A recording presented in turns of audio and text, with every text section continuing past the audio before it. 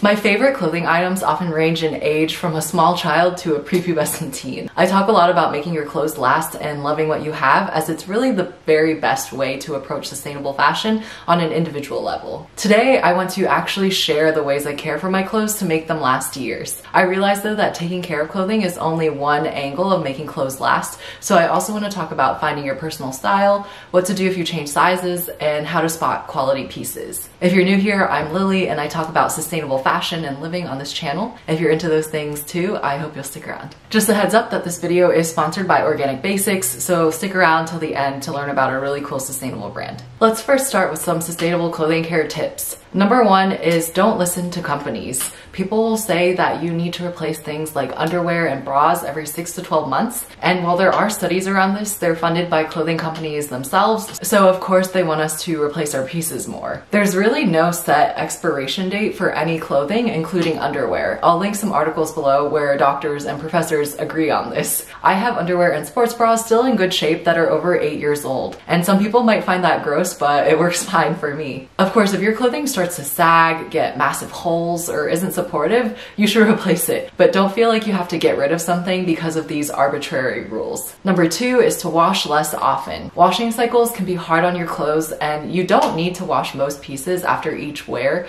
other than underwear and sweaty workout clothes. For example, I typically wash winter base layers after two to four wears, my pajamas every week, and sweaters maybe every month. I also wash denim really rarely. There is that urban myth about freezing your denim to kill bacteria instead of washing, but it actually doesn't do anything. So maybe wash your denim every now and then. I do wash summer pieces more often since I can get really sweaty, but even then I try to go a couple wears before washing. Basically, I wash something if it's visibly dirty, often from spilling food on myself, or when it starts to smell. To keep my clothes separate, I typically keep my too clean to be washed but too dirty to go back in the closet clothing on a chair in my room.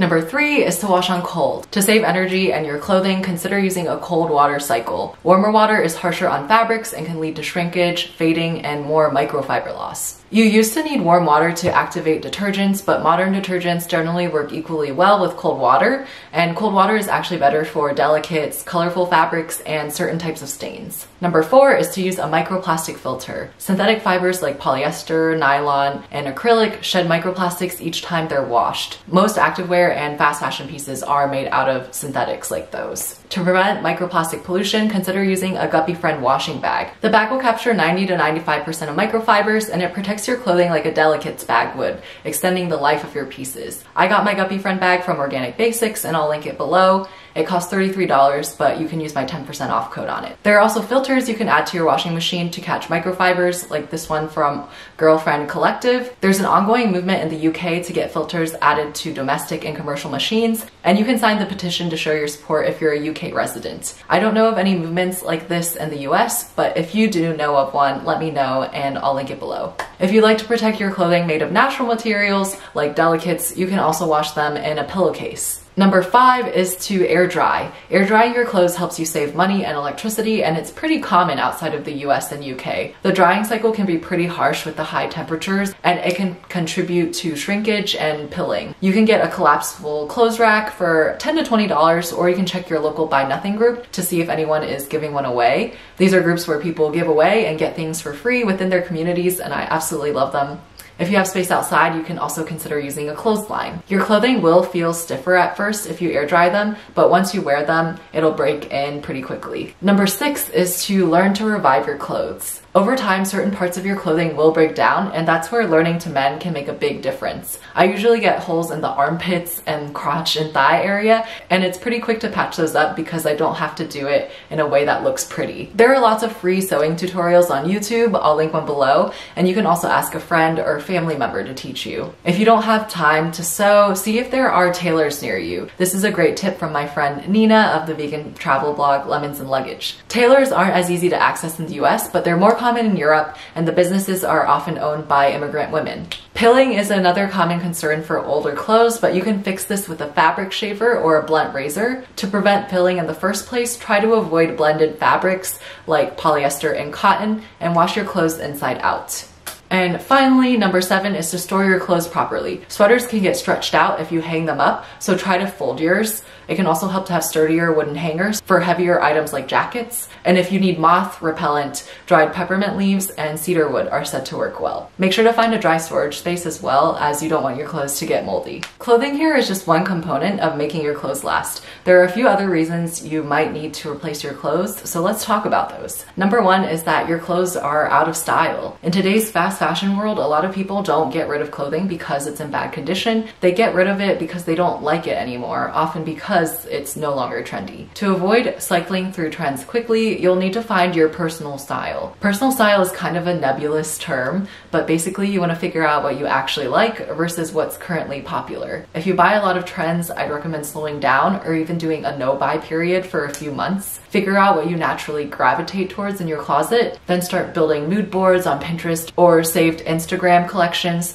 to try to pin down common threads in your preferences. Determine your signature pieces and build outfits around those. For example, my signature pieces are vintage silk scarves, turtlenecks and mock necks, and funky earrings. When you're ready to bring something into your closet, ask yourself, do I have something similar that could work? Could I get at least 30 wears out of it? Will I keep it for years? Does it go with things I already own? Will I still want it if it's not trendy? These steps will help you avoid buying clothing you don't truly love. Number two is that you change sizes. I've had the privilege or curse of not really changing sizes since middle slash high school. Puberty didn't really hit, I guess. It's totally normal for your body to change though, and you shouldn't feel bad if you can no longer fit into your old clothes. You deserve clothes that fit and make you feel confident. If your body changes, you can still extend the useful life of your clothing by passing it on to someone who will use it. I recommend giving your clothes away directly to people you know or using your buy nothing group, but I have a whole post about getting rid of clothes responsibly if you need more options friends if your weight tends to fluctuate, you can also consider keeping your clothing so you don't have to keep buying and replacing pieces. To make your wardrobe as flexible as possible, you might also try things like a pants extender, which can be found online for a few bucks. Stretchy fabrics, flowy silhouettes, and adjustable pieces like wrap dresses or paper bag pants can also work for changing bodies. I know that for kids, parents often actually buy larger sizes so that they can grow into the clothes. And number three is that your clothing is bad quality. If you're taking care of your clothing and it's still falling apart quickly, the problem may actually be the clothing quality. A higher price doesn't always mean higher quality or even more ethical or sustainable practices. Some fast fashion can certainly last a long time if you take care of it. I have fast fashion basics that are over eight years old. That said, fast fashion is not made to last since these companies want us to consume more. I also have fast fashion tops that are fraying after only a handful of wears. This is no fault of the garment workers. They are skilled workers, but they're just given cheap materials and forced to sew quickly. To spot quality clothing, look for things like neat and secure seams.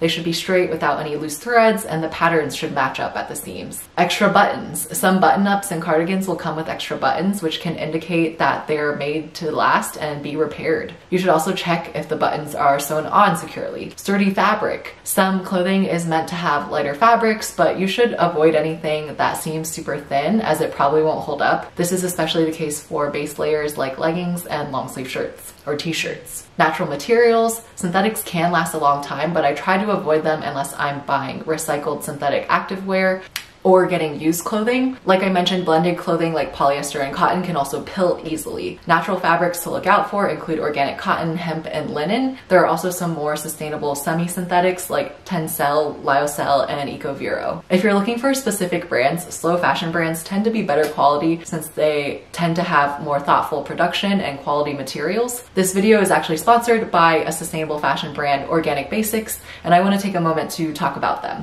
Organic Basics is a Danish brand with both masculine and feminine styles. They're best known for their organic cotton underwear, and I first talked about them in my sustainable underwear video. They're continuing to add other styles though, including regular clothing and activewear. One of the things I admire most about them is their factory transparency. They list their suppliers online, and you can click on each one to learn about their certifications and worker benefits, plus which pieces are made there. I was gifted two SilverTech Active sports bras to finally replace a couple bras that are no longer supportive or falling apart. These bras were sewn in an SA8000 certified factory in Portugal and are made with 89% recycled nylon. I also received a pair of SilverTech Active ankle socks made from 60% recycled wool and in the same factory. All orders ship plastic free and the emissions are offset. While Organic Basics is on the pricier side, the bras are $60 and the socks are $31. I can tell that these pieces are gonna last me a long time. The sports bras are double layered and anti-odor, so I won't have to wash them aggressively to get the stench out.